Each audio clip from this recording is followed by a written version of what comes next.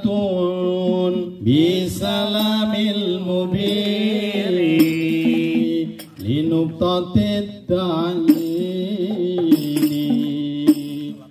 ya ghayari salatun